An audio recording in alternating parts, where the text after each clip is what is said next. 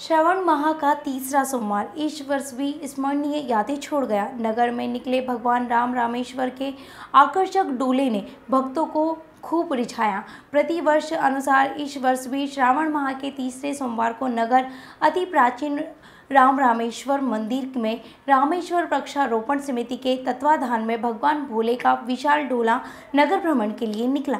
अल सुबह से ही मंदिरों में भजन कीर्तन के साथ धार्मिक कार्यक्रमों का सिलसिला प्रारंभ हो गया था। सुबह भगवान भोलेनाथ का महाभिषेक उज्जैन के प्रसिद्ध पांडवों द्वारा किया गया। अभिषेक के बाद में भगवान का आकर्षक श्रृंगार किया गया, जिसे देखकर भक्तों में महाकाल की याद ताज़ा हो गई। इसके बाद भोलेनाथ सुंदर सजी पालकी से नगर भ्रमण के लिए निकले। जैसे ही मंदिर परिसर में डोला निकला, वैसे ही चारों ओर धार्मिक माहौल बन गया था। साथ ही भोले के भक्त जन नृत्य करते चलते रहे।